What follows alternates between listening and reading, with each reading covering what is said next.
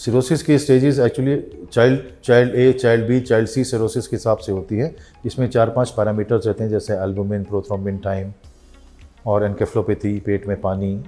तो ये सब चीज़ें हम देखते हैं और हिसाब से child A child B child C में उनको डिवाइड करते हैं। फाइब्रोसिस के हिसाब से F one F two F three F four हैं। सिरोसिस की these are the stages of cirrhosis